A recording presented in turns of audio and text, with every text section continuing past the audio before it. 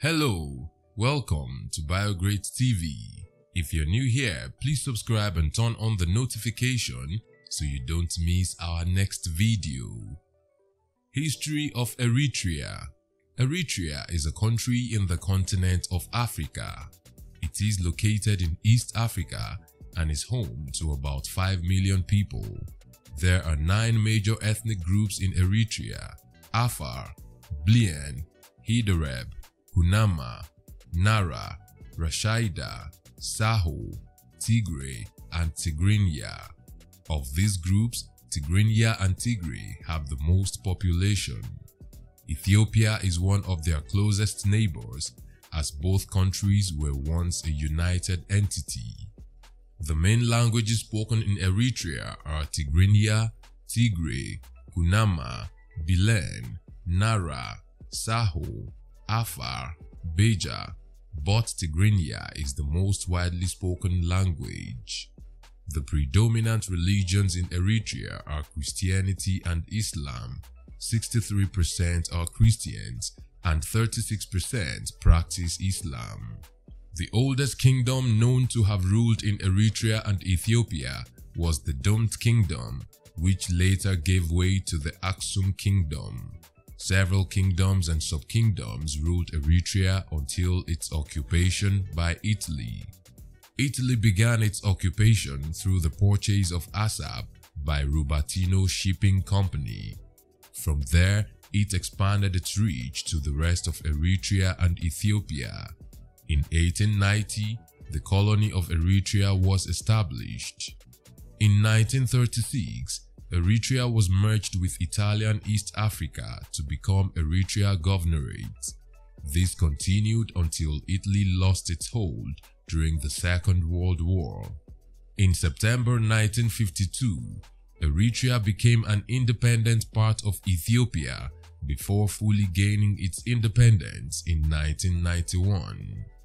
The name Eritrea is believed to have evolved from Erythraia, the Greek form of the name, and Erythrea, the Latin form of the name.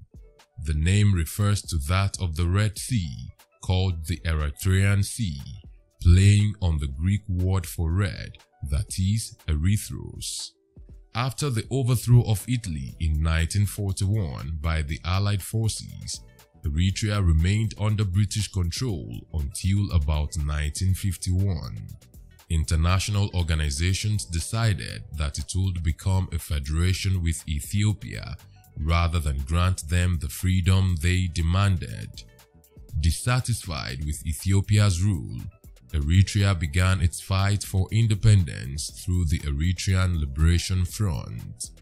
The official fight for Eritrea's independence began on the 1st of September 1961 and lasted till 1991. On the 28th of May 1993, Eritrea was recognized as a sovereign nation by the United Nations.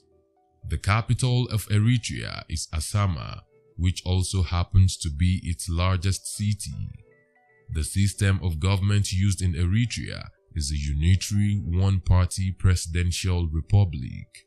In this system, the president acts as both the head of state and the head of government, and the only political party allowed is the People's Front for Democracy and Justice. Eritrea fought two civil wars before finally gaining independence. The war took place between competing organizations that were fighting for the freedom of Eritrea. The First Civil War took place from 1972 to 1974. In this war, the Eritrean Liberation Front ELF tried to subdue other members of the groups who didn't like the ELF's leadership style and wanted to break away to form another group. The Second Civil War took place between 1980 and 1981. During this war, the newly formed Eritrean People's Liberation Front EPLF attacked the ELF when it seemed as though the ELF wanted to negotiate a peace treaty with the nation's enemy, that is, the Soviet Union and Ethiopia. This war saw the total defeat of the ELF and its exile from Eritrea. The surviving members of the ELF finally moved to Sudan.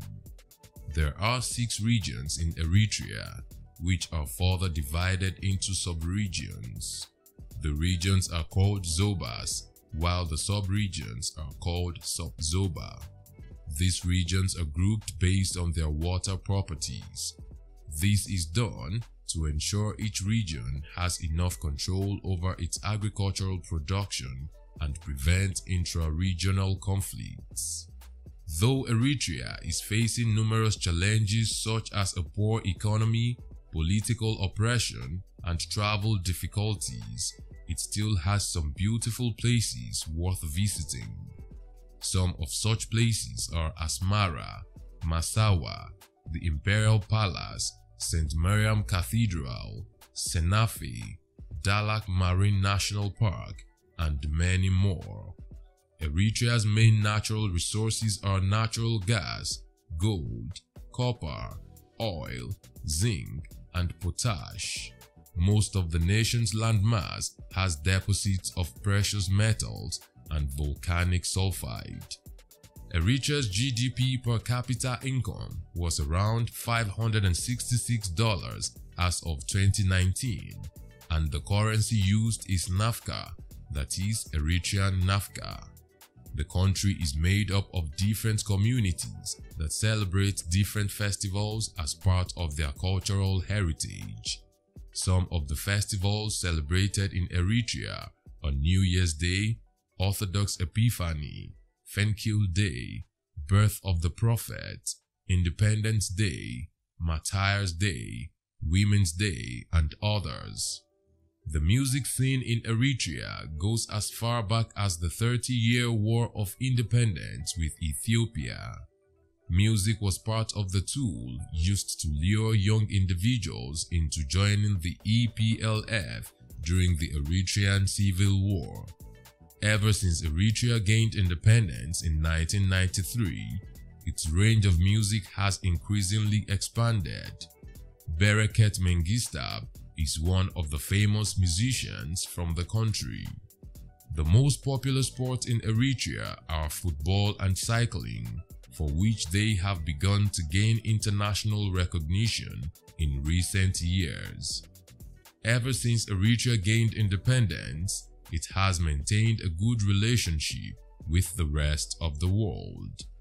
Though Eritrea has had strained relations with its neighbors Djibouti, Yemen, and Ethiopia in recent years, they are making conscious efforts to create lasting relations with the international community. Turkey, the United Arab Emirates, Yemen, South Korea, Qatar, Mexico, and Italy are some of the nations with which Eritrea has formed relations.